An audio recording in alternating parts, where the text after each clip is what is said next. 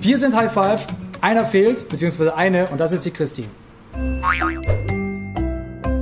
Ja, hi, ich bin die Christine. Ich bin seit Mai dieses Jahres bei IDG, also quasi GameStar GamePro und jetzt neu mit beim High Five Team dabei, mit den anderen Jungs und natürlich auch dem Mädel.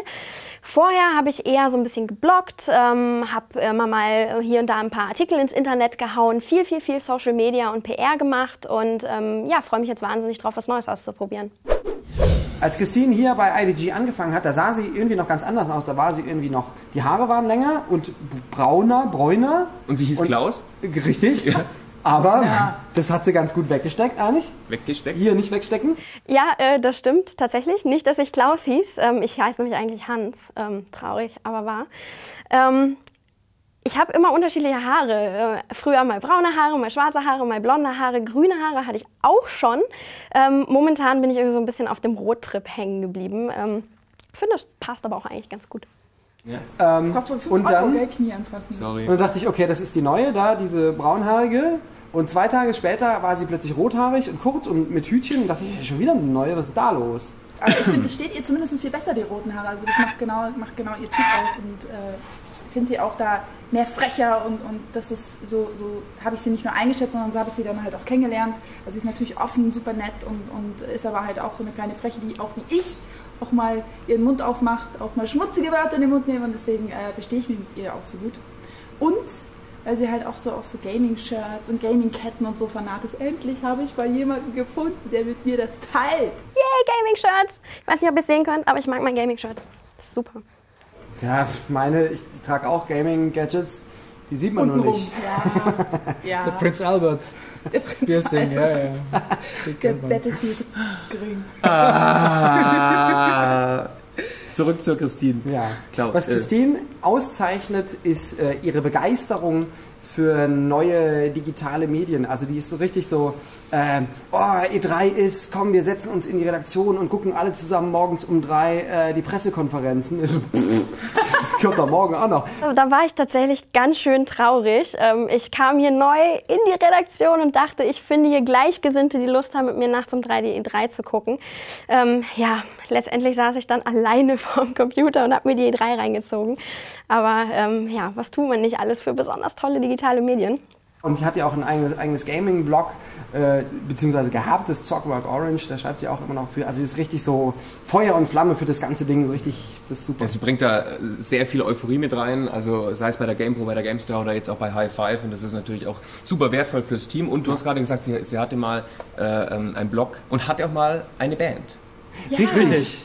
Ich find, Musik, Musik. dickes, dickes Thema bei der kleinen Christine. Sie kann so gut singen und ich wünschte, ich könnte singen. Ich meine, ich würde überall singen. Ich würde sogar singend meine Pizzabestellung Ja, mag sie. Aber Nicht schon wieder das Thema jetzt. Ja, das stimmt tatsächlich. Ähm, Ich habe in diversen Bands früher gespielt, ähm, früher viel so ähm, ja, Richtung Punkrock gemacht, immer ganz böse ins Mikro gegrölt und möglichst versucht, ganz, ganz rau und böse zu klingen. Es hat aber nicht ganz so geklappt, es war immer ganz lustig, aber leider, leider, leider habe ich da in letzter Zeit nicht mehr so viel Zeit für. Wer weiß, vielleicht machen wir ja für High Five auch mal ein bisschen was Musikalisches. Ich bin auch so ein bisschen, bisschen eifersüchtig auf Christine. Einmal wegen der roten Haare und dem Hütchen, Ja. aber auch, weil ich ähm, mich damit gebrüstet habe, lange Jahre, Brüste, habe ich Brüste gesagt, Ja. im Fernsehen, Fabian, ähm, Brüste. dass ich eigentlich immer ganz gut war bei Rockband und Guitar Hero, so Und du warst wirklich gut. Mit, mit der Beste, wirklich würde ich behaupten, ja. in, in diesem bunten Medienhaus. Und da kommt sie und kann äh, Plastikgitarre spielen und gleichzeitig auch noch singen. Das vermochte bislang nur ich. Sie kann Gitarre spielen und Schlagzeug gleichzeitig und singen. Oh ja, und hinten hat sie dann noch so eine Tuba und Und so ein Äffchen auf das. Und Doctor Who. Das ist ihre, Oh ihre ja, absolute Serien. Lieblingsserie. Also da geht alles von T-Shirts bis, bis in die Nacht schauen. Aber sie ist ja sowieso serienmäßig, ist sie sowieso super fit Alles, und äh, da alles. konsumiert sie, glaube ich, auch alles, was es Ja. gibt, oder? Also Serien, Games. Musik, auch wenn du, sie- wenn du eine Frage zu Musik hast, geh zu Christine. Also das, die war mega Lexikon. Naja, ganz so ein Lexikon bin ich jetzt auch nicht. Ich gucke auch nicht alles, das stimmt nicht so ganz. Ähm, aber stimmt schon, das ist eine Leidenschaft von mir. Also ich gucke wahnsinnig gerne Serien. Doctor Who ist klasse. Der zehnte Doktor, klasse Typ. Was, was ist eigentlich Doctor Who? Äh, das ist so eine Eine Serie? Super, Maxi, vielen, vielen Dank. Ihre Musikbegeisterung sieht man ihr ja schon an. Sie hat ja dieses irre Tattoo auf dem Arm. Das ist ja. irgendwie so ein Baum, der aus einer, aus einer Musikkassette rauswächst. Ähm, wenn sie dann irgendwann mal in 10, 15 Jahren oder so Kinder hat, die wissen ja schon gar nicht mehr, was das ist da unten. Bäume? Baum, genau. also die Kassette, der Kassette natürlich. Also. Ich habe einen Vorschlag, ich könnte einfach ähm, zum Tätowierer gehen und mir alle zehn Jahre was Neues da drauf tätowieren lassen. Also das nächste Mal kommt dann äh, eine CD und eine DVD und eine Blu-ray ähm, und ähm, ja, ein USB-Stick. Dann äh, kommen die auf jeden Fall hinterher. Ja, High Five bedeutet für mich zwei Sachen. Und zwar einmal auf der beruflichen Ebene finde ich es natürlich total klasse, was Neues auszuprobieren, Videos zu machen, total viel Quatsch den ganzen Tag lang zu machen. Und natürlich, äh, hoffentlich gefällt euch das auch, was wir dann machen. Ähm, also es ist wirklich eine Herausforderung, aber eben eine schöne, spaßige Herausforderung. Auf der anderen Seite muss ich einfach sagen, ich freue mich wahnsinnig auf High Five, weil ich bin so ein, ja, ein Junkie für digitale Kultur eigentlich. Ich beschäftige mich gerne mit, mit Serien, mit Musik, mit Videospielen, mit Filmen und ähm, freue mich wahnsinnig, das weiter an euch rantragen zu können. Ähm, und das ist für mich auch so der Inbegriff von High Five, also digitale Kultur, Entertainment, Spaß mit Freunden zusammen.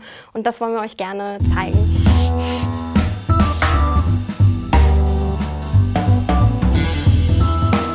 Ach, ihr seid ja noch da. Coole Sache.